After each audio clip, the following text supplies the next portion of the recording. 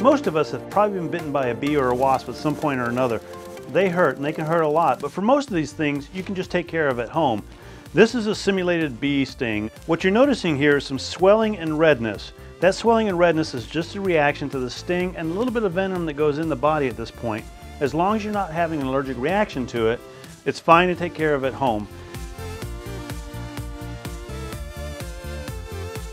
In the middle, you'll see a little black area there. That's the stinger. One important part here is you want to get that stinger out as soon as you can. So how do you do that? Easiest thing I think is just to simply use tweezers. You just go with the tweezers, grab the little black area, and pull the tweezer out.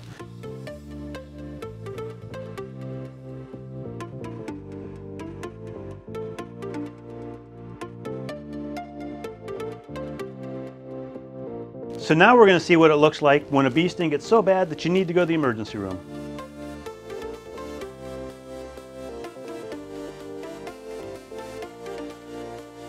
Even if the bee bites you in any other part of the body, if the swelling starts to this area of the face, you want to be concerned because it can easily get to the throat and cut off your breathing, which of course is life-threatening. You want to go ahead and get to the emergency room as soon as you can.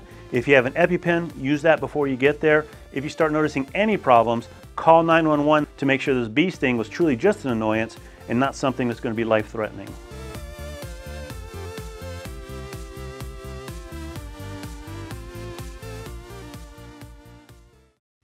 Hey, NBC News viewers, thanks for checking out our YouTube channel. Subscribe by clicking on that button down here and click on any of the videos over here to watch the latest interviews, show highlights, and digital exclusives.